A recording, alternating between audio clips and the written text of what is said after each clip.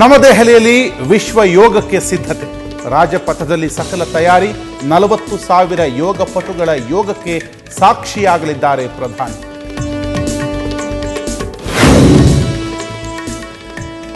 ಜಮೀನು ವಾಪಸ್ ಪಡೆದ ರೈತನ ಮೇಲೆ ಹಲ್ಲೆ ನಡೆಸಿದ್ರ ಶಾಸಕರ ಬೆಂಬಲಿಗರು.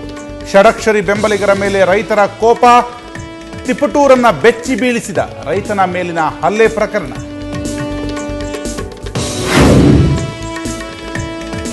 ಅಂಗಡಿಯಲ್ಲಿ ವ್ಯಾಪಾರ ಮಾಡ್ತಿದ್ದವಳ ಮೇಲೆ ಅತ್ಯಾಚಾರ ಯತ್ನ.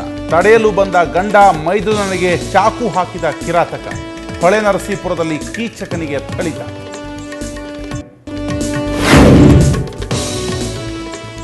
ರಾಯಚೂರು ಆರ್ಟಿಪಿಎಸ್ನಲ್ಲಿ ಕಲ್ಲಿದ್ದಲು ಧಗಧಗ. ಹದಿನೈದು ದಿನದ ಸ್ಟಾಕ್ ಕಲ್ಲಿದ್ದಲು ಬೆಂಕಿಗಾಹುತಿ. ರಾಜ್ಯದಲ್ಲಿ ಕೈ ಕೊಡ್ಲಿದೆ ಕರೆಂಟ್.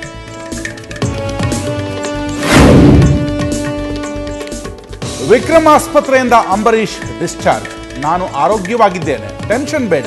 ಅಭಿಮಾನಿಗಳಿಗೆ ಅಂಬಿ ಸಂದೇಶ.